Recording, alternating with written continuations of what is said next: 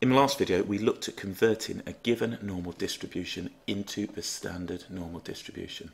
We define the standard normal distribution and we will use z as our continuous random variable. We can say z follows a normal distribution with mean of 0 and a variance of 1.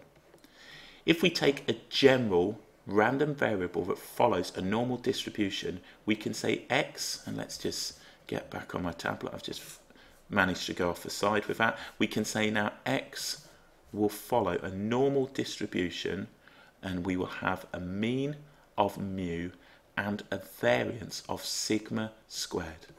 So in this particular case, we can see that we have now a mean of 40, so mu would be equal to 40. And in this particular case, we're given the variance is 9. Therefore, the standard deviation which is the square root of the variance, is going to be now 3. Be very careful. Most questions are answered incorrectly uh, when uh, 9 is taken as the standard deviation. We saw that we could make the substitution as z was equal to x minus mu divided by sigma, or if you like, x minus the mean divided by the standard deviation. In the first part of this question, we're asked to find the probability that x is greater than 45. So making the substitution, I can now say z will be equal to 45 minus mu, which is 40, divided by sigma, which is the standard deviation, which is going to be 3. So this gives us a value now. What's that going to give us? That's going to give us 5 over 3, or 1.6 recurring. I'm going to round this to two decimal places. Therefore, I'm going to now state the probability of z being greater than 1.67 is the value that will satisfy this right here. In general, in this course, we round to two decimal places and then read from our standard normal tables. So 5 thirds is going to give me 1.6 recurring. Therefore, I've rounded to two decimal places and I'm using the value of 1.67. So what we've got here now, and let's just sketch this up, we have this point right here. This point is going to be 1.67. We are interested in the area trapped under the curve to the right of this line.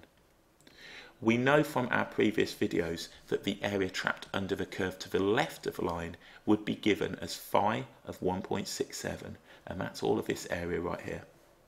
The area trapped under the curve in total is 1 Therefore, the area that I'm going to be interested in will be 1 minus phi of 1.67. So what we'll do, we'll grab up our table and look to find that value. Right, here we are. Here's our table. So we want 1.67.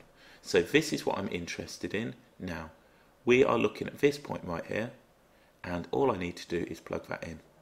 My tip of the day, if you're unsure and you make mistakes like I often do, just do 1 minus 0.9525 and that will give us now 0.0475. So let's put that on and we just need to go across. So we just now need to write that value. So let's put that there. 0.0475. So we can now say the probability that x is greater than 45, which now answers the original question, is 0.0475. Okay, let's look at the next one. We've got now the probability that x is less than 38. So let's make the substitution. We will now say z, and what we're going to have then is the following. We will have 30, we've got on here 38 minus 40 over 3. So 38 minus 40 divided by 3. So that's going to give me minus 2 thirds. So what I'm going to say then, if this is minus 2 thirds, I'm going to use minus 0.67. So what I'm now looking for then is the probability that z, our continuous random variable, is less than negative 0.0, sorry, uh, 0.067. I've rounded this to two decimal places and I'm now going to read off on the chart. So let's look at this on here. Let's put this up and we'll place this somewhere near here. We're interested in the area trapped under the curve to the left of this line. So we've got all of this right here. Okay, and that's going to be all of this stuff here. So this point right here is negative 0.67. few ways that you can look at finding this area. It depends on how you feel.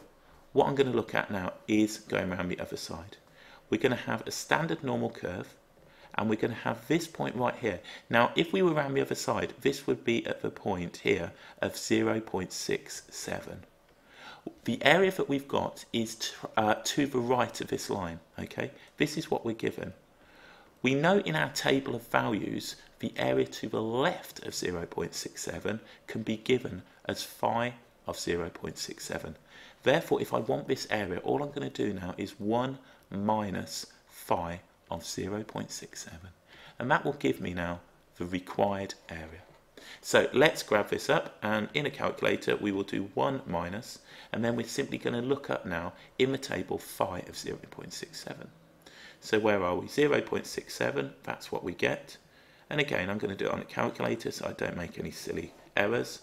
Grabbing a calculator, we can have 1 minus 0.7486. So we end up now on here with 2514. So let's go back. And we've got now 2514. So this is going to give us now 0.2514. Therefore, to answer the question now, the probability that x is less than 38 can be given as 0.2514. So there we go, using some of the skills that we've uh, looked at in previous videos and then putting it all together with a transformation.